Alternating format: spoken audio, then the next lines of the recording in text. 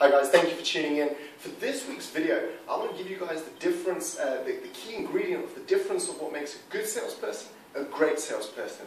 Every salesperson stereotypically knows a lot about their product. They know their service, they know how to present, they know how to build rapport with a client. Where they fall down and what stops them from being great is that ability to close, to close the deal, to get the money, to get the client on board to your company. So what I'm going to give you guys today is three sales nuggets that you can use in your everyday closing activity, which if you implement your closing habits, will help you to do more business. So number one is this.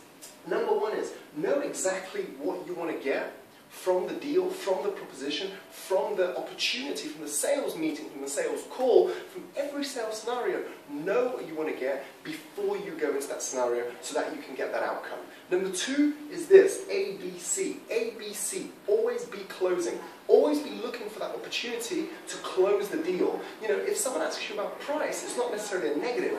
They could actually be saying, hey, Mr. Salesman, I am ready to do business with you. And number three is this, have a closing line. Have a really good closing line for your sale so that it gives the client a better opportunity to make a decision, i.e., so if someone's ready to do business us, so, Mr. Client, when are you ready to start? When would you like to start? Listen, we can get you started next Tuesday or Thursday.